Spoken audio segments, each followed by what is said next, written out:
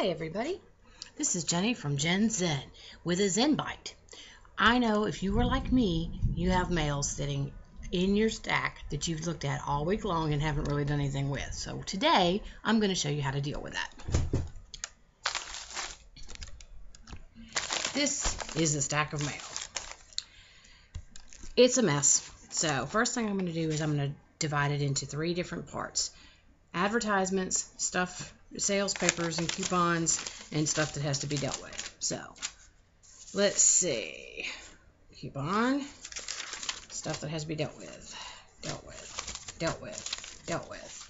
Papers, coupons and papers and coupons and papers. Coupons and papers and papers and coupons. Envelope, coupons, papers and coupons stuff. See what happens when you let it sit and take up space for a while? You get all this horrible, nasty stuff, and then you're like, what am I going to do with all of this? Well, this is how we're going to handle this. Magazine, mail, mail, junk, mail. Okay, so now we have it in a few different stacks. Let's start with the easy one, which will be the smallest one, which is also the most important. Mail. Alright, so this is mail. Since this is something I'm going to have to deal with, I'm going to put it with the envelope wrapped next to it so I don't lose it and put that to the side because it's going to go in a box to be dealt with. That's an advertisement, so I'm going to tear it in half. I'm going to put that in the trash pile. Let's see, open this. And this is another that needs to be dealt with. So again, I'm going to take the envelope and wrap it around the side, just so they're all in there together. Toss the envelope it came in because it doesn't matter. Healthcare cards, need to put those away. Okay, another envelope I can toss. All right, receipts, because I file my receipts. Keep up with the receipts and file them so you have them for taxes. Then again, we have another one, again with an envelope on it, so that they can all go together. All right, list that I might need later.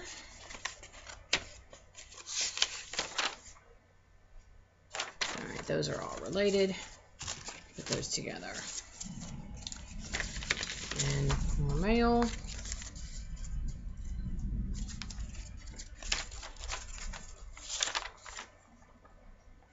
Okay, something that needs to be filed. All right. Let me tear that up. All right. Coupons. We're going to set the coupons to the side because we'll deal with them in a minute.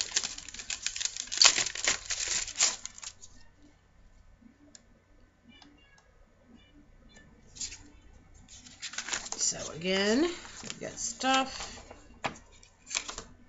We're going to put the envelope on it, set it to the side. Toss the old envelope. All right pre-approved. MasterCard, that's going to go away.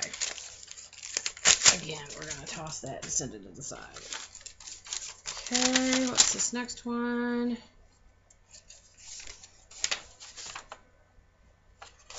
And we're going to, again, put the envelope on it, set it to the side.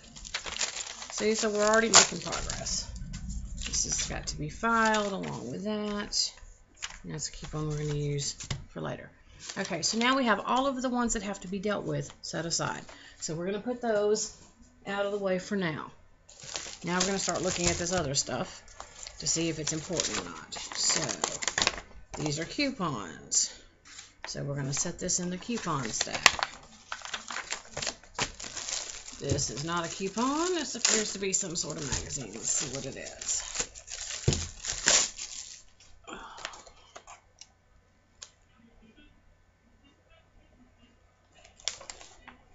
This has to do with an investment. So we're going to put that with the stuff that needs to be taken care of. Now let's go to all the newspapers and things that come in the mail. I'm going to glance through these and see if anything is in here something that we're going to use. Because if you're not going to use, there's no point in even going through it and finding the coupons. Alright, this says Memorial Day, which is past now. So, this entire stack can be tossed. Alright, let's see. Again, this is a coupon book. Not seeing a whole lot here I'm going to use, so I'm going to toss that. Oh, yes, we're going to win a car. I don't believe that. We're going to toss that. So, let's see, next group. Okie dokie, Greek pizza. Let's see what the expiration date is on this. Oh, it doesn't expire to the end of July, so that's possible. No, no, no, no, no, no. Okay, so all the no's can go. Alright, there's a Papa John's coupon that I will want, so I'm going to put that with the coupons. Alright, Victoria's Secrets, Dearly Love. Gonna go with the stuff that needs to be looked at because I'm going to read it. Let's see, this would be the local newspaper. I'm going to read that, so that goes with the stuff that has to be dealt with. Alright, again, let's see. Coupons. Anything I'm going to actually use? Not right now. Alright, Sam's. Again, let's see what the hmm, date is. Of course, it helps if you open little sticky things first. Alright, this is all summer stuff. Through April 19th, it's gone. Obviously, I haven't done things in a while. Alright, McDonald's. Ended in April. Prescriptions. Never expires, so put that there. Again, more stuff I'm not going to use. Let's see. Metairie Dental. It's expired. Okay. Oh, another one with another key. Toss that. Alright, that's a letter from my insurance company. Need to put that where it's stuff that needs to be dealt with. Alright, another set of clipper stuff. Not going to use. Let's see, Burger King, I don't like very much. But it's good through the middle of June, so I may take that to work and see if somebody else wants it. Same thing with the Wendy's. Let's see what they're good through.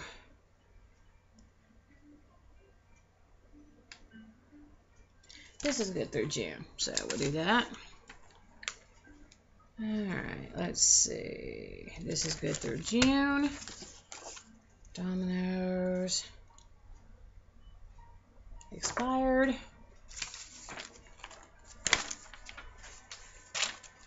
Expired. That goes with the healthcare stuff that needs to be dealt with. Let's see. This is why you go through this stuff. And you need to do it once a week, which obviously I've put off for a week or two, mostly in the spirit of doing this. Alright, election day, done that. Or Sam's, let's see what this was. Papa's Pizza, let's see.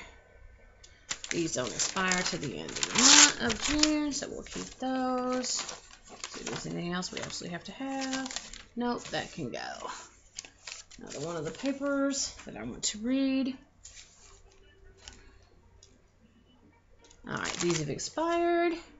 And now we're done. So now, what we're going to do is we're going to cut the coupons and put all of them in the same spot. I have a clip for those. I'm going to take the, put this with work stuff and get these things filed away. And then all that's left is the ones that you have to take care of. So, I hope this helped. If it did, please follow me on Twitter at uh, JenZenNola, N-O-L-A.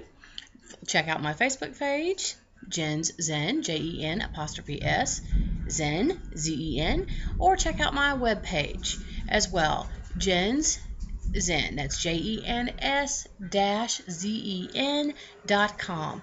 Thank you for listening. I'll send you a new tip next week.